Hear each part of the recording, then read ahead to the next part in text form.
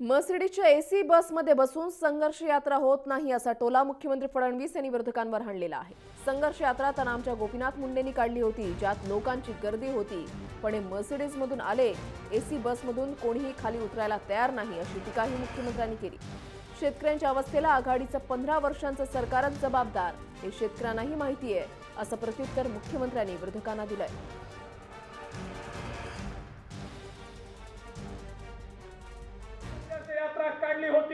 ती आमच्या गोपीनाथराव मुंडेंनी काढली होती. ती समाजाची यात्रा होती. ती जनतेची यात्रा होती. ती नेत्यांची यात्रा नव्हती. ते एअर कंडिशन मर्सिडीज बेंजमध्ये त्या ठिकाणी बसून नेते बाहेर देखील उतरायला तयार नाही. अशा प्रकारची ती यात्रा नव्हती. जमिनीवर लढाई करणारे कार्यकर्ते आणि त्यांच्या सोबतचे शेतकरी हे त्या यात्रेमध्ये सम्मिलित होते. आता या ठिकाणी इतकी जनता या चंद्रपूर जिल्ह्यामध्ये आहे. कोणाला गाड्या देऊन बोलवलेलं नाही.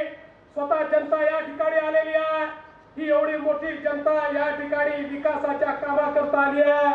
आणि तुम्ही तर म्हटलं आम्ही शेतकऱ्याकरता संघर्ष करतो.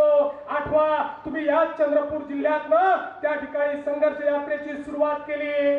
याच्या पंचवीस टक्के लोक देखील तुमच्या संघर्ष यात्रेच्या पहिल्या सभेला तुम्ही जमा करू शकला नाहीत.